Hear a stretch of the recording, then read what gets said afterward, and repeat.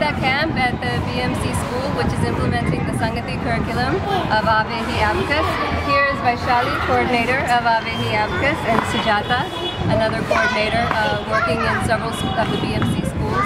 This project is supported by Age Chicago.